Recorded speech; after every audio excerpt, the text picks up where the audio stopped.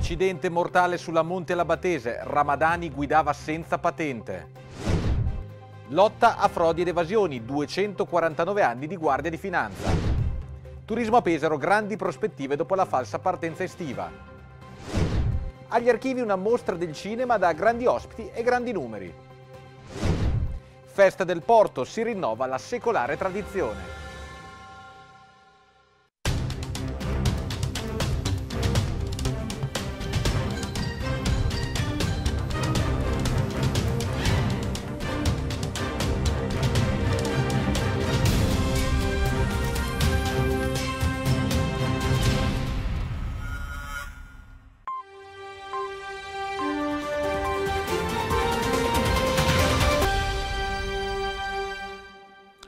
Buona serata a tutti voi pubblico di Rossini TV, ben ritrovati al nostro appuntamento con l'informazione serale di Rossini News. Riparte una nuova settimana del telegiornale del canale 80 e purtroppo riparte con una notizia davvero terribile, quella che ieri ha squarciato una tranquilla domenica pomeriggio con un incidente davvero sconcertante. Un incidente avvenuto nella Monte Labatese dove si sono spezzate due vite a seguito di un inseguimento dissennato in seguimento che è nato anche da alcune motivazioni emerse nella giornata odierna.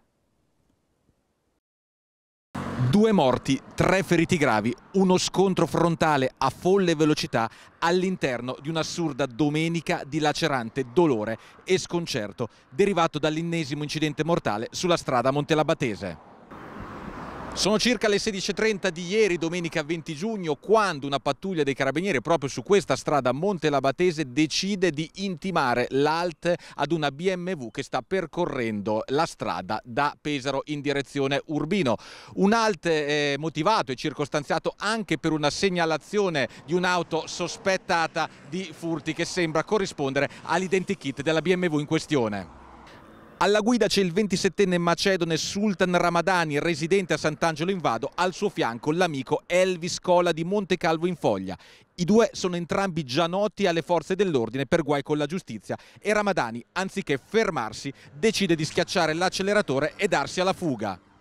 Una fuga scriteriata che tocca il picco di 150 km orari, praticamente quasi il triplo del limite consentito su questa strada, una fuga per lasciare indietro i carabinieri che di fatto decelerano quasi subito e capendo i rischi potenziali, rischi che poi diventeranno una tremenda realtà di lì a poco perché l'inseguimento porta a perdere il controllo dell'auto in fase di sorpasso. Una BMW ingovernabile che si schianta contro una Fiat 500 con tre ragazzi a bordo che procedeva in senso opposto.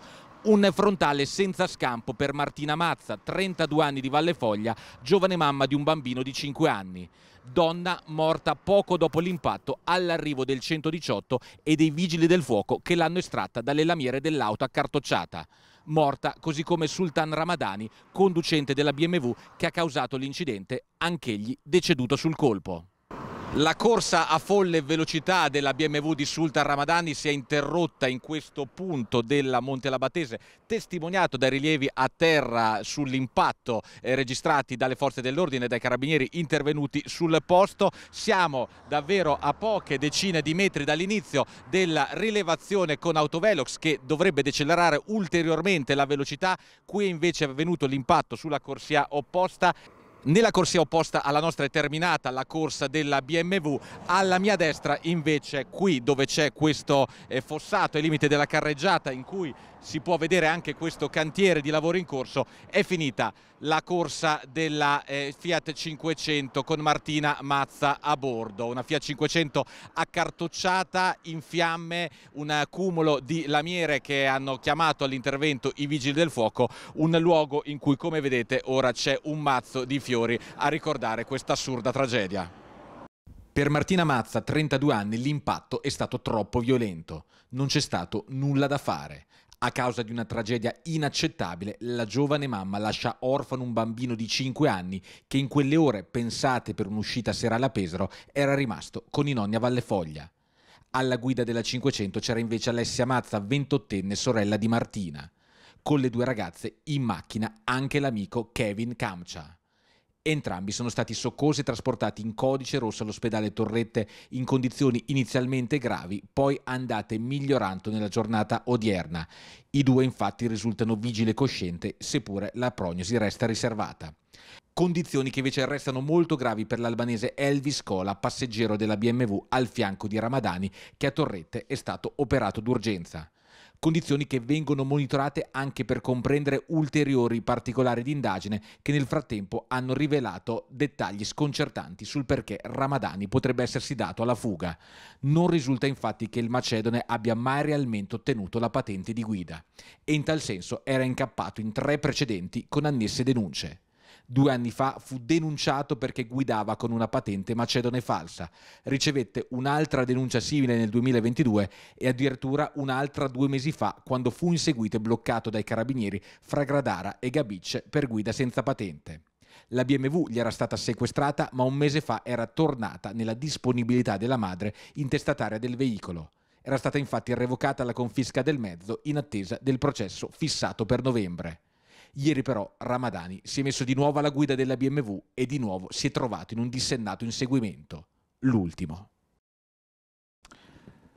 Altro incidente per fortuna senza gravi conseguenze è quello avvenuto nella notte tra sabato e domenica a Fano quando una Volkswagen Golf con a bordo tre ragazzi marocchini stava percorrendo via Cannelle in direzione Flaminia quando sulla curva di Ponte Morello il conducente di 22 anni ha sfondato il parapetto facendo catapultare l'auto nel Rio Secco dopo un volo di diversi metri.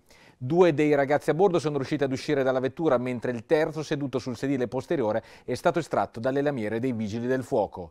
Tutti e tre sono stati portati all'ospedale Torrette di Ancona, due in condizioni non preoccupanti, mentre il 31enne seduto nei sedili posteriori ha riportato serie ferite alla spina dorsale.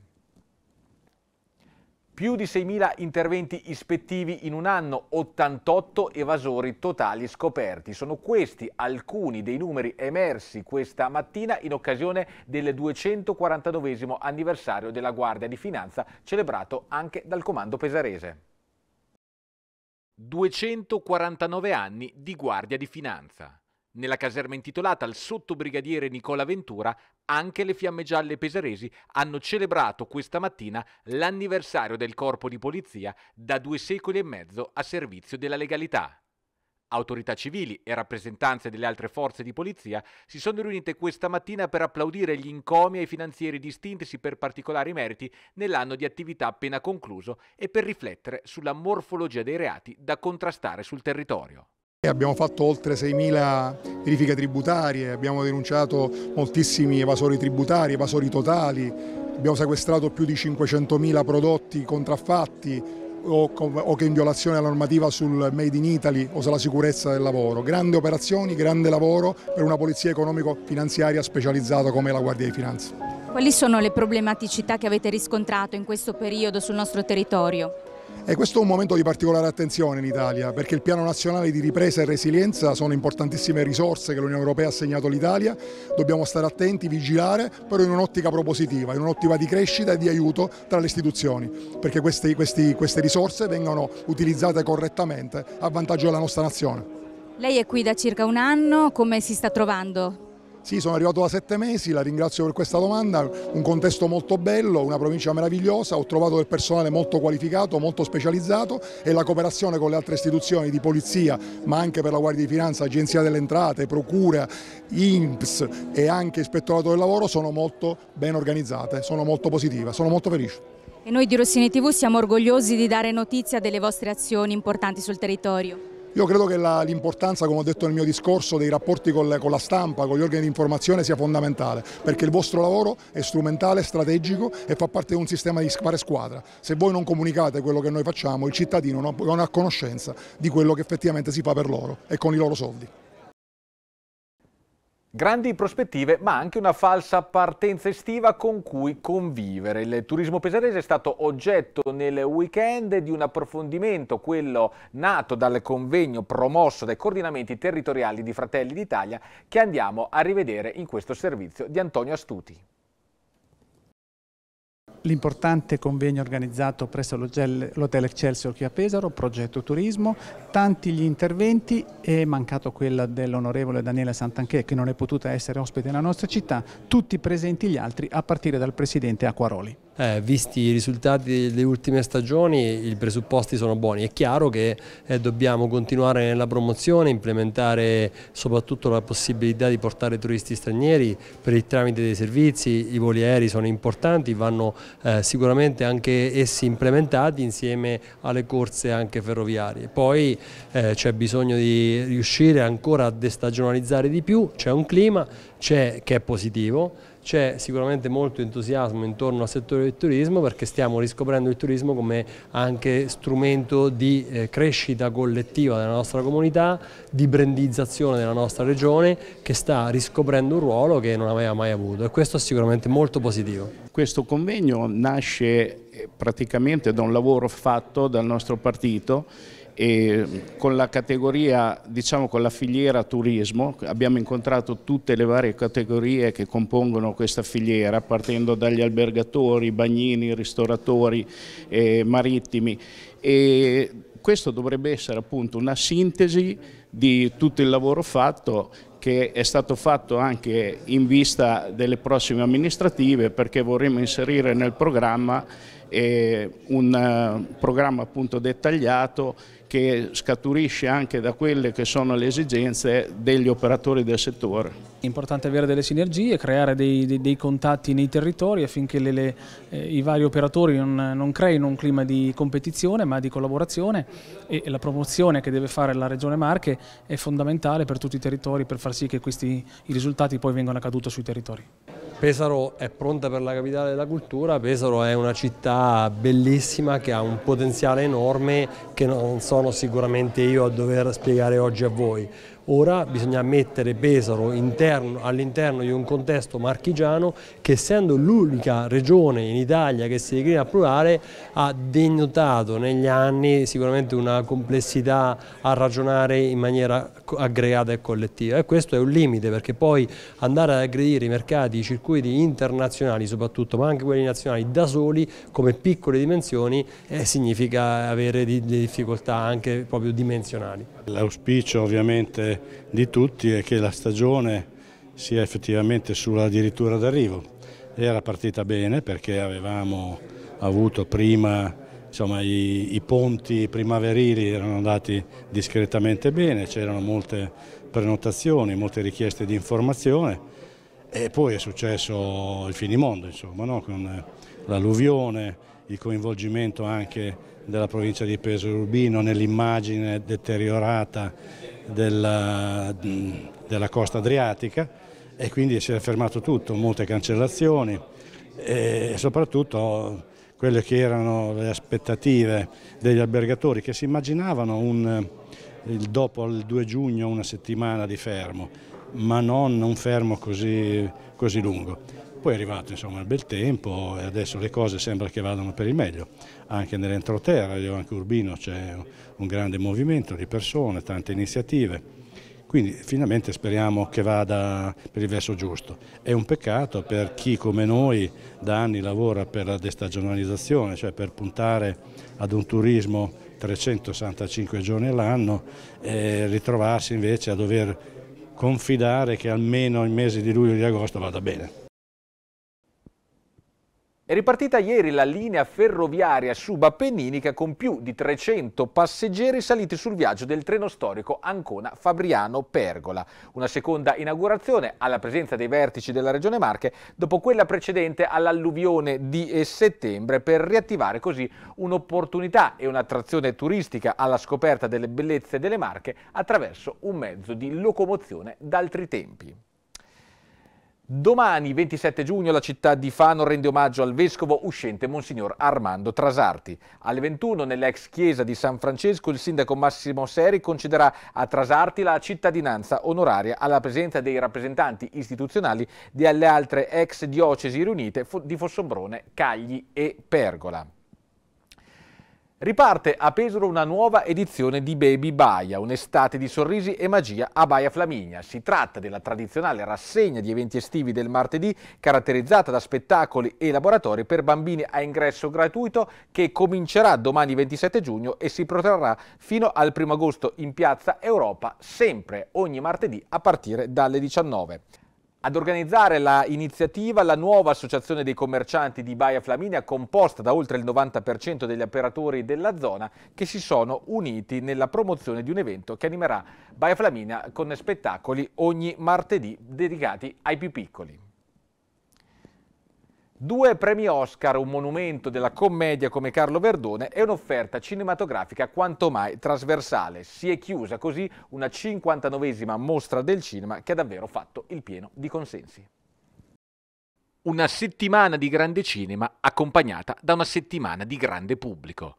La 59esima mostra internazionale del cinema di Pesaro si è conclusa sabato sera con la premiazione del concorso in cui la giuria internazionale ha assegnato la targa per il film vincitore a Broken View del regista belga Anne Severus-Streite, premiato sul palco di Piazza del Popolo momento conclusivo coinciso con l'evento speciale dedicato al regista premio Oscar Giuseppe Tornatore che ha messo il fiocco ad un'edizione che proietta il festival col vento in poppa verso la sessantesima edizione del 2024.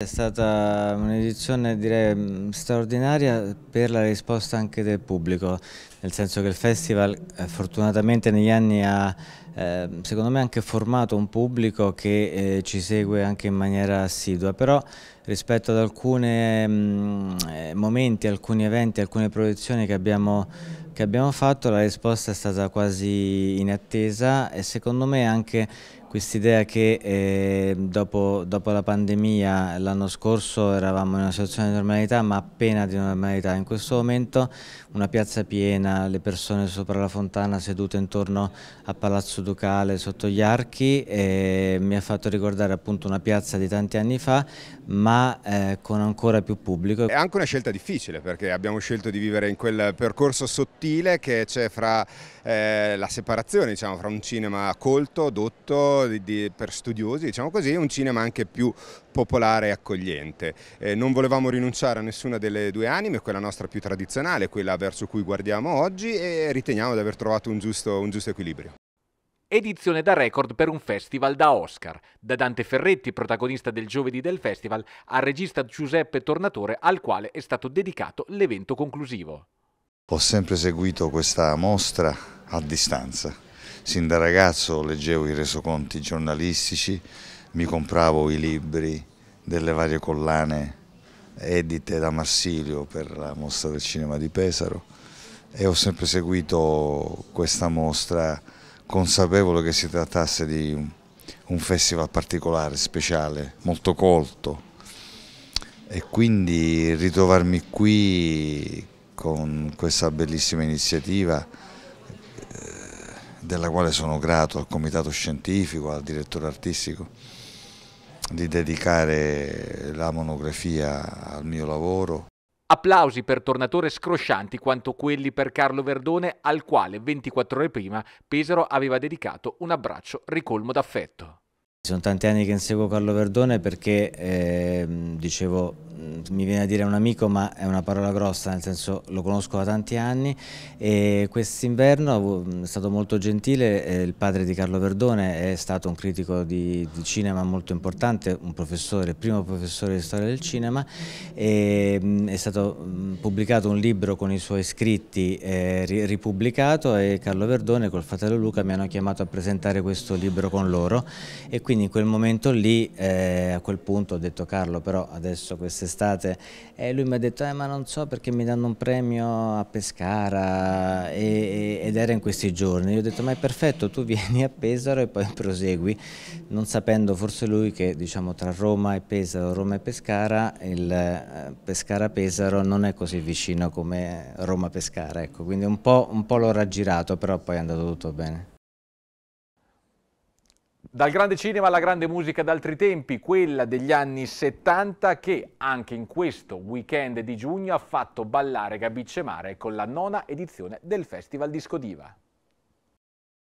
Disco Diva ormai è un evento imperdibile ideato e creato da Cristina Tassinari con l'intento di celebrare la disco music degli anni 70 e ovviamente con Disco Diva parte ufficialmente anche l'estate 2023 un festival davvero a cielo aperto che serve a celebrare i grandi successi di un'epoca d'oro, eh, un'epoca del glamour, l'epoca dove sono nate le discoteche in Italia e dove sono nate proprio qui a Gabic. Ma la mia creatura è nata nove anni fa, ovviamente da questa bellissima balconata, respirando un'aria anni 70 continuamente, ho detto ma qui non ci ha pensato nessuno di fare un festival sulla disco e questa intenzione è stata molto forte, tant'è che ho coinvolto il comune di Gabice ed è partita questa mia creatura, io la chiamo perché così è stata, ha avuto subito un grandissimo successo per poi arrivare ad oggi che siamo ad una nona edizione e che devo dire abbiamo tanti riconoscimenti sia di pubblico che a livello mediatico.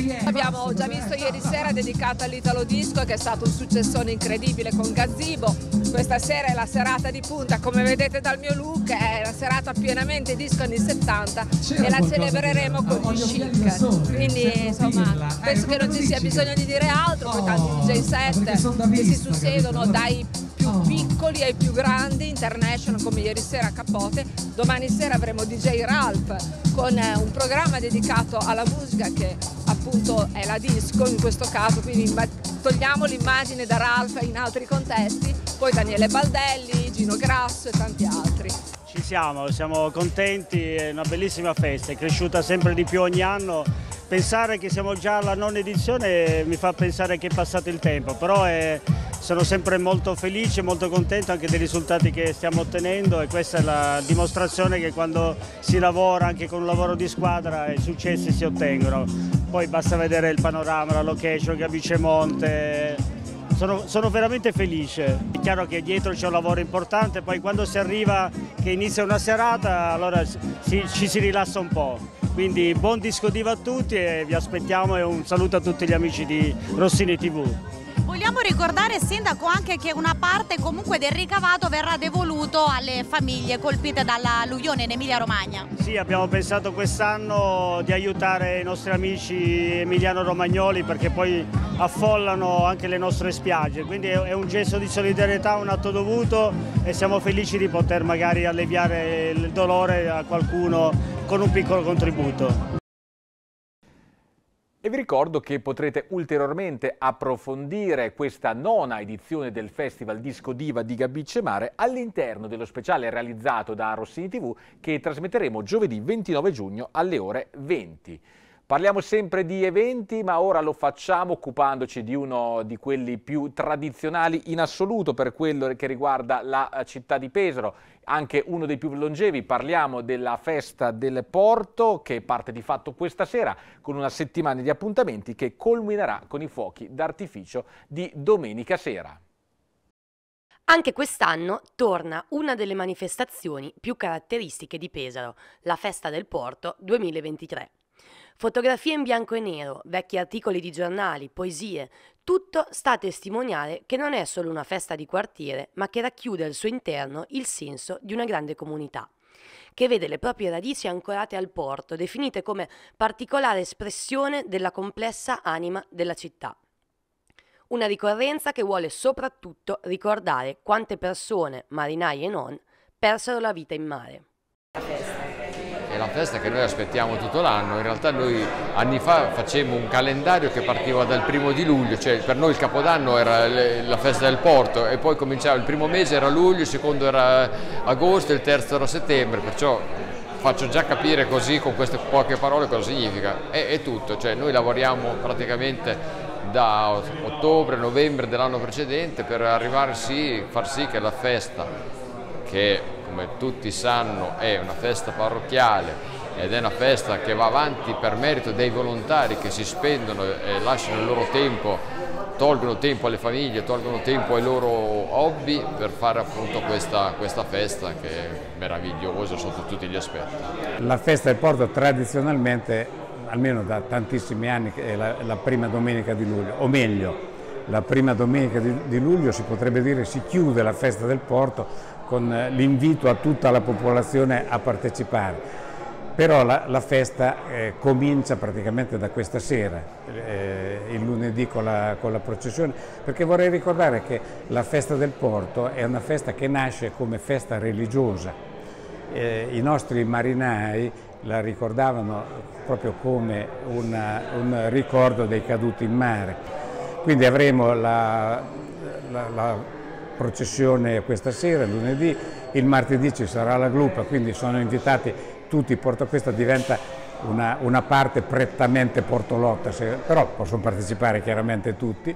Poi ci sarà il dialetto, anche quello eh, viene sempre molto seguito il dialetto pesarese che a me piace moltissimo, io veramente mi onoro di aver anche recitato più volte in, in dialetto e, e, vedo che c'è una partecipazione veramente massiva. E poi ci sarà il Lumachino d'Oro e poi qui vorrei ricordare anche la, la manifestazione di musica classica che secondo me è una cosa da tenere ben presente e a cui invito tutti a partecipare perché veramente ci sono delle, delle prestazioni di altissimo, veramente di altissimo livello. Gente di mare che da anni lavora senza sosta per realizzare uno dei più grandi esempi di comunità e solidarietà volontari instancabili e legati da un unico obiettivo, quello di creare qualcosa di grande per la città.